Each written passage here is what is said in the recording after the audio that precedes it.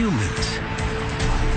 Without a doubt, the smartest animal on Earth. Yet we're unmistakably tied to our ape origins.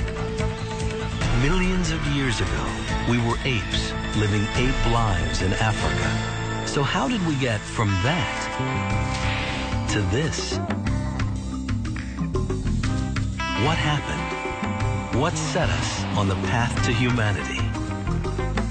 The questions are huge, but now there are answers.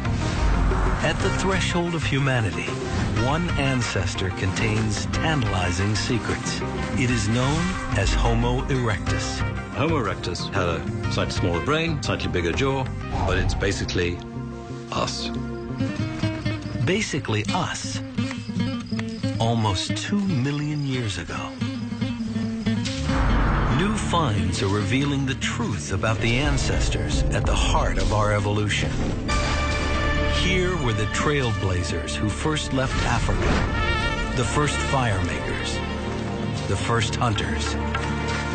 These creatures were capable of analyzing possible uses of tools and coming up with a technological solution to the problem of how do you kill a big dangerous animal without getting killed yourself. Homo erectus pioneered what it means to be human, colonizing whole continents and creating the first human societies. Our ancestors began to care about what others thought and care about what that individual thought about them. Now, new discoveries are bringing them alive as never before. At last, we come face to face with the ancestors at the birth of humanity, right now on Nova.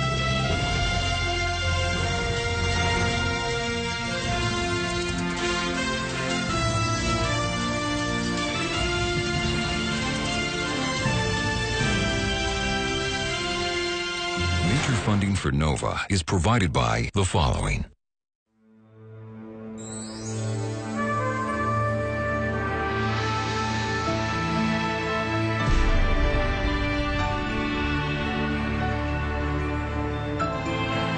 The Great Rift Valley of East Africa.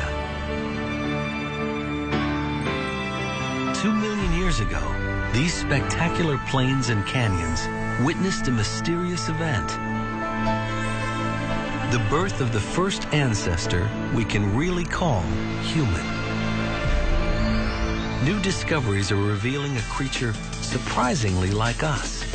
A world traveler, a toolmaker, a hunter, tamer of fire, creator of the first human societies.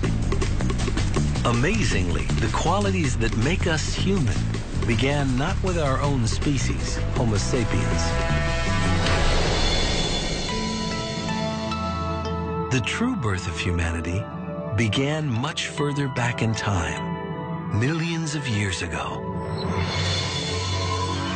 Imagine the entire span of recorded human history, about 5,000 years, taking us back to the Egyptian pyramids. Double it, 10,000 years, to the time when plants are domesticated and agriculture begins. Double it again, 20,000 years.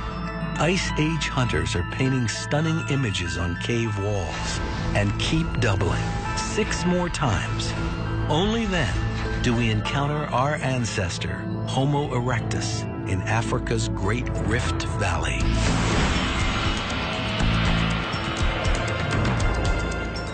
For millions of years, this massive geological fault line running the length of East Africa was a stage on which our human evolution was played out.